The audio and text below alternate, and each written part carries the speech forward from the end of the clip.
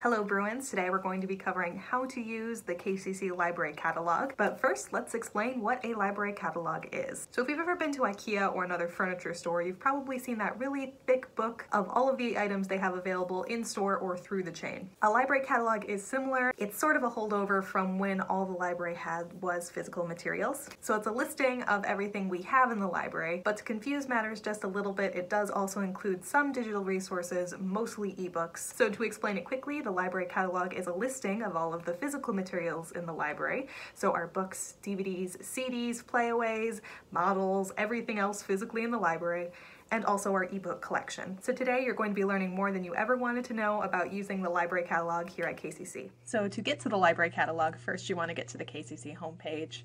In case you didn't see our video on how to use Search All Resources, to get to the library website, you can either go to Library in this top bar in the middle of the KCC website, or you can go under services and find library there. You can also type in kellogg.edu slash library. That will also take you to this page. So you'll want to use the library catalog mostly when you're looking for books and ebooks. There are ways to filter for books when using things like search all resources or the different databases, but using the catalog is one of the easiest and it does have some unique features which we'll be covering today. To search the library catalog, we want to click this link right on the left called Search the Library Catalog. You can also use Search Books and More right here. Just click that tab and search, but I want to show off what the library catalog actually looks like, so that's going to be the method that I am using today. So like I said before, we're going to be covering all of the options on this page, not just ways to search, but the other features also available to you. So let's start under My Library. You can actually sign into your library account from here. You just want to click My Account, and that will take you to the login page. You'll be logging in with your same KID and password that you use to get into your email and everything else here at KCC. And then when you get there, you'll be able to see a list of everything you have checked out, when it's due, if you've renewed it or not. You can also renew material right from this page, so you don't even have to come in or call the library to do that. You can do that straight from the library catalog. Also under that My Library section, you have a direct link to the About the Library page. You can also suggest a purchase for the library if there's something you're interested in getting that we don't have. I'll show you other ways to get a hold of things like that though in just a second. And there's also a place for you to leave your comments here. Under this help topics, there are some things to help you searching the catalog, and some of these will also apply to our databases, to search all resources, to searching on the internet in general, so feel free to check these out if you're ever curious. Under What's New, you'll see our featured lists, which is also listed at the very top right here. Either way gets you to the same page. So here you can view particular types of resources. So let's say you want to know what DVDs we have in the library. You can actually just go under that feature films list and this is going to list all of our DVDs. They are in alphabetical order, starting with numbers and then going through the A's, the B's, all of that. There's a similar thing for our playaways, which is a type of audiobook. It comes on a little almost MP3 player that you can listen to books that way. And there are some other lists available right here. So again, if you ever want to check that out, that is available either under What's New featured lists or featured lists at the very top. This is also where you can find your course reserves. Um, course reserves are textbooks that we have available free to use in the library. These are sent to us by instructors, so if your instructor has given it to us, you can search either by their name or by your course number. Again, uh, just pick whichever one you know. I'm going to do course number here. And so, for example, we could do um, History 103, just because I know we have an entry there. Click that and it will show you the name of the textbook if we have it. If it doesn't show up, that might mean we don't have it. You can always call just to double check though. And just so you know, almost all of our course reserves are for in-library use only, so you can read them, study them in the library, you just can't take them home with you, and we do that just to make sure the most amount of students have access to these textbooks. And there is also a direct link to the Ask a Librarian feature that's going to take you to our contact page, giving you different ways to get a hold of us, um, whether that's 24-7 chat, which is this box on the left. You can also leave an email form here or get a hold of the exact person you want to down under this department contact section. All right, I think I've put off searching long enough, so let's just get started now. So in this search area, you can change from keyword to title, author, or subject, depending on what you know. Most of the time, you can just leave this set to keyword. That's going to pick up the title and author most of the time.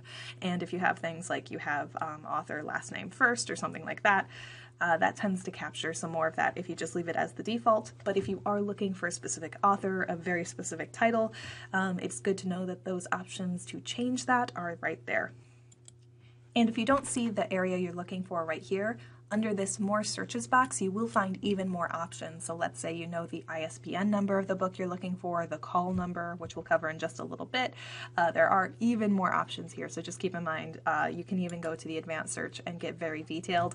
Most of the time, though, in the catalog, you won't need to worry about that because it's a much smaller collection, so there won't be quite as much to filter through. Okay, so I'm going to keep it lighthearted today. We're going to search for dogs. All right, so we're getting several types of resources here. You'll mostly find books and ebooks here, like I mentioned earlier, we do have things like DVDs, CDs, playaways, and those will all show up here. So to tell what is what, um, on this left column here, you'll see, for example, this first one is a book, this is a book, this little icon here means this item is a playaway. Um, if it's a DVD, again, you'll have unique items for all of that. Ebooks will have that little red E right there. Um, so let's say this is a book you wanted to find in the library. If you have questions, you can always ask at the desk. We are happy to help you find materials. If you do want to try to do it yourself, though, I'd recommend writing down three things before you go. The first is going to be the title, so you remember exactly what book you're looking for. The second is the location. That's going to be a floor in the library, so that's going to be level one, two, or three. Uh, just keep in mind that the library is a lot like the classroom building where you walk in on the third floor. So if you're coming in through the main entrance, you're already going to be on level three, so that book would be right on that level, whereas level one would be two floors down. So just keep that in mind. There is some signage around, but some students still get confused with that. The third thing you want to write down is the call number. So this one is a children's book, and I just know that this C here means it's part of the children's collection. It does also say over here the location is the children's collection. So you'll write down CDOG in this case.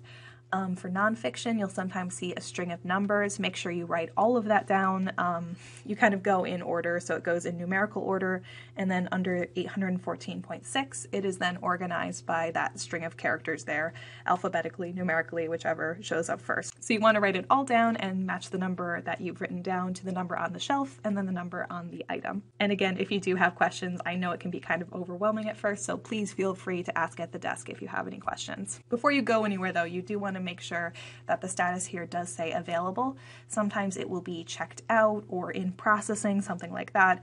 If you have questions about that, um, feel free again to call the library. Just make sure that the item is available. It looks like all of these are. Sometimes, if it's a popular book, though, it might be checked out. Like some of these are in processing. So you'd want to place a hold on those. The next topic we're covering is ebooks. So again, some of these are going to be electronic materials. You won't need to worry about finding them in the library. Instead, you'll click this website link. If you're off campus, it may ask you to log in. It's going to be the same KID and password you use everywhere else at KCC.